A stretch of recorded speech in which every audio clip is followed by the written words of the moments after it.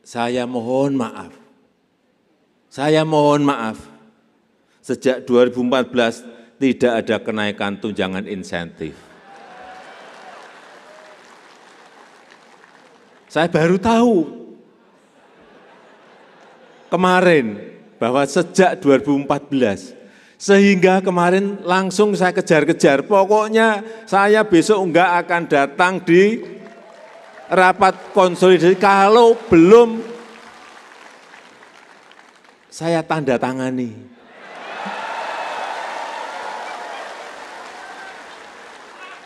Alhamdulillah kemarin sudah saya tanda tangani.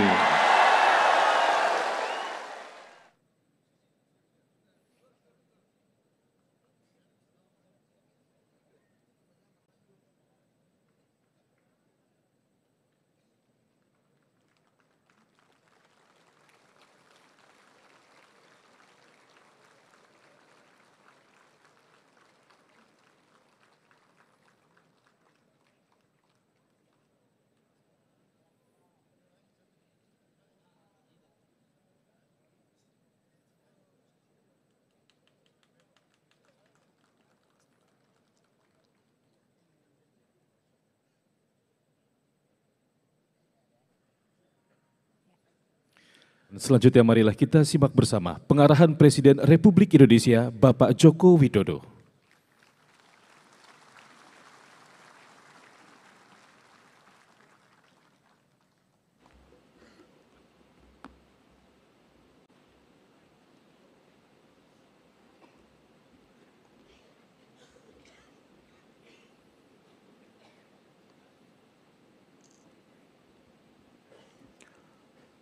Bismillahirrahmanirrahim. Assalamualaikum warahmatullahi wabarakatuh.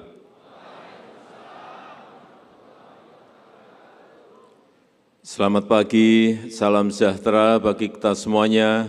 Shalom, Om Swastiastu, Namo Buddhaya, salam kebajikan. Yang saya hormati Ketua KPU Bapak Muhammad Afifuddin, beserta seluruh jajaran komisioner Komisi Pemilihan Umum Republik Indonesia, yang saya hormati pimpinan BPK, para menteri, Kabinet Indonesia Maju yang hadir, Pak Menko Polhukam, Pak Menteri Dalam Negeri, Panglima TNI, Kapolri, yang saya hormati Ketua Bawaslu, Bapak Rahmat Bagja, Bapak Ketua DKPP, Pak Hedi Lukito, yang saya hormati Ketua KPU Provinsi dan Ketua KIP Aceh, beserta seluruh jajaran yang hadir pada pagi hari ini, yang saya hormati Ketua Kabupaten dan Kota KPUD se-Indonesia, Ketua KIP Kabupaten Kota se-Provinsi Aceh, beserta jajaran Bapak Ibu hadirin dan undangan yang berbahagia. Pertama-tama, saya menyampaikan penghargaan, sangat menghargai, sangat menghormati kerja keras KPU dari pusat sampai daerah yang telah sukses berhasil menyelenggarakan seluruh tahapan pilpres dan pemilu legislatif di tahun 2024 secara aman, tertib, dan lancar.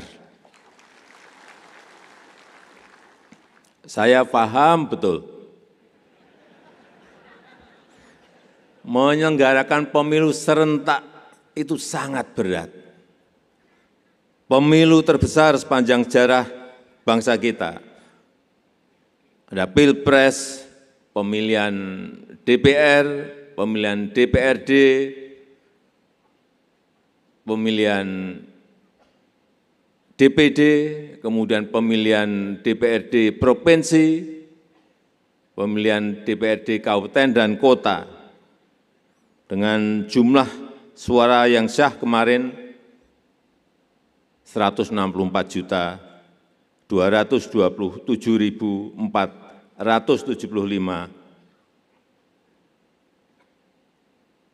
suara yang ada di 822.699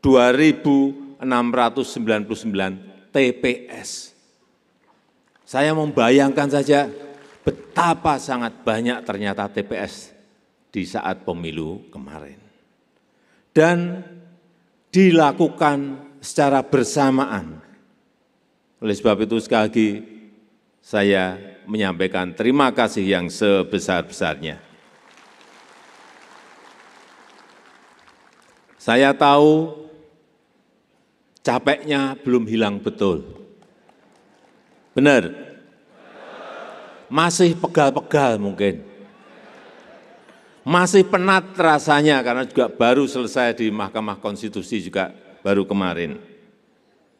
Tapi dalam beberapa hari lagi sudah memasuki tahapan pilkada serentak di 508 kabupaten kota di 37 provinsi.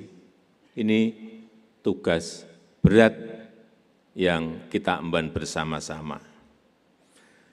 Dengan tugas KPU yang sangat berat tersebut, saya mohon maaf. Saya mohon maaf. Sejak 2014 tidak ada kenaikan tunjangan insentif. Saya baru tahu kemarin bahwa sejak 2014 sehingga kemarin langsung saya kejar-kejar, pokoknya saya besok enggak akan datang di rapat konsolidasi kalau belum saya tanda tangani.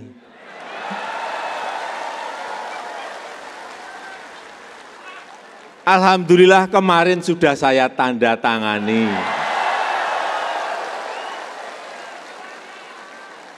Saya tahu, saya tahu yang ditunggu kehadiran saya ini bukan Presiden Jokowinya.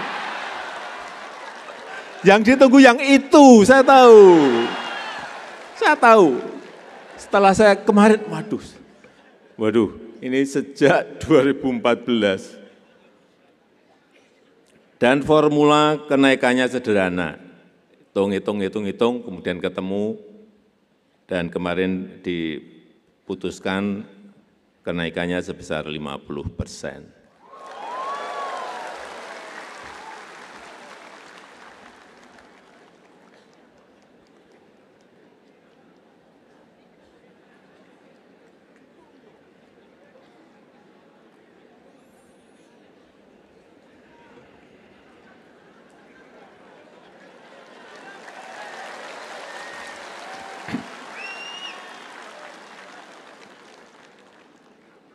Bapak Ibu hadirin undangan yang saya hormati, pilkada sebentar lagi akan kita selenggarakan. Tidak kalah rumit dibanding pemilu yang lalu.